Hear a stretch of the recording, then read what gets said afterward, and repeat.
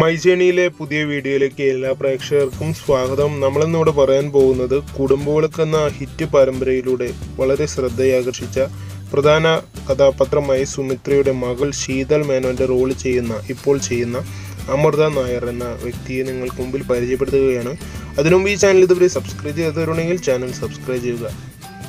കുടുംബവിളക്കിലെ ആ റോൾ അതായത് നമ്മുടെ ശീതൽ മേനോൻ എന്ന റോൾ ചെയ്തിരുന്നത് ആദ്യം പാർവതി വിജയ് ആയിരുന്നു. പാർവതി വിജയ് പെട്ടെന്നുണ്ടായ ചില കാരണങ്ങളാൽ ഒരു വിവാഹത്തിന് തയ്യാറാവുകയും അതിന്റെ ഫലമായി സീരിയലിൽ നിന്ന് പിന്മാറുകയും ചെയ്യുകയായിരുന്നു. അതുകൊണ്ട് തന്നെയാണ് പുതിയ റോൾ എന്ന രീതിയിൽ അമൃത നായറിനെ ആ റോളിലേക്ക് നിശ്ചയിക്കുന്നത്.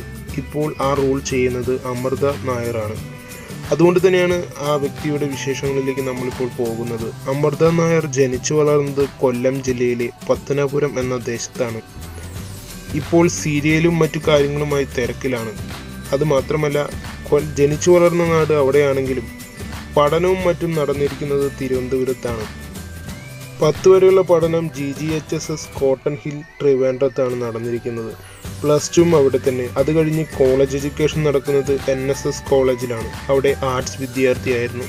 രണ്ടായിരത്തി പതിനേഴിൽ ആ വിദ്യാഭ്യാസം പൂർത്തീകരിക്കുന്നു. അടുത്തത് അമ്മൂട്ടി എന്ന വിളിപ്പേരിലാണ് നമ്മുടെ ഈ നായിക അമൃത അറിയപ്പെടുന്നത്. കുടുംബത്തെക്കുറിച്ച് പറയുമ്പോൾ മുത്തശ്ശി അമ്മ അനിയൻ അടങ്ങുന്ന ഒരു കൊച്ചു കുടുംബമാണ് ഇവരുടേത്.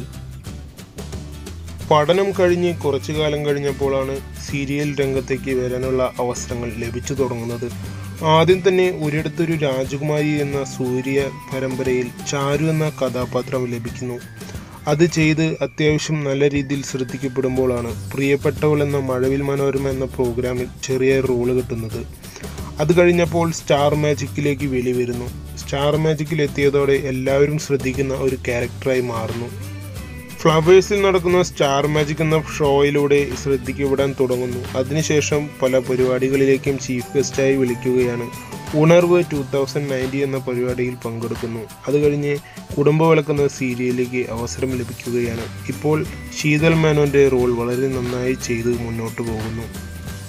നായികയുടെ ബർത്ത്ഡേ ജൂലൈ മൂന്നിനാണ്.